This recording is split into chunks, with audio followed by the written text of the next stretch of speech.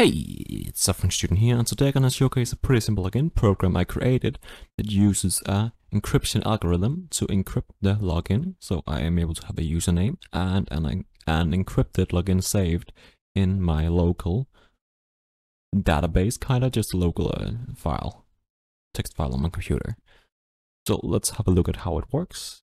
So I have my username, so in this case I could go Dan, and then have a password I actually don't even remember what password I made exactly for this one, but let's just create a new one. Let's go down. Let's just go one, two, three, four. That's out of five. I can then also create an account. And now when it updates, we're able to see and uh, create a new account. I would then be able to log in with Dan and these numbers and simply have a successful login. So that's pretty much the program. We have a username have a password and when I create an account, the password and the username is saved in this data file where the username is just saved as the username, but the password is encrypted and saved at this encrypted version. And then whenever I logs in, it checks if this password matches, encrypted matches the encrypted version of the password. So let's go through the code.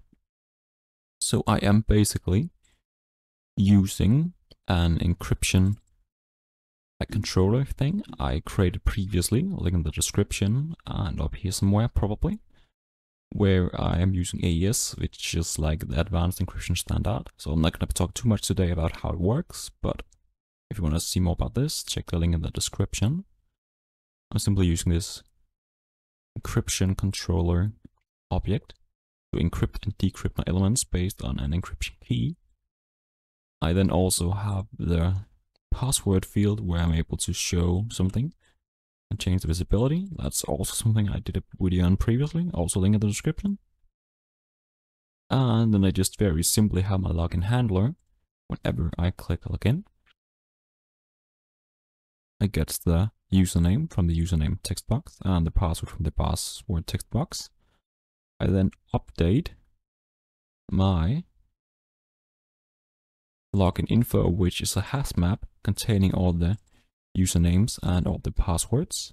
I then simply have my username and then from a username I will get the encrypted password and then input my encrypted password to check if the per password I have right now matches the encrypted password if the encrypted password would be decrypted. So simply if my current password matches this one decrypted. So check pretty much if they're the same.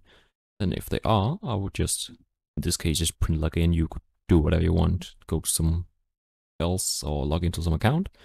Or I don't even know if I showcased. If I did it wrong, let's do that again, but one, two, three, I would have pop up of an error message.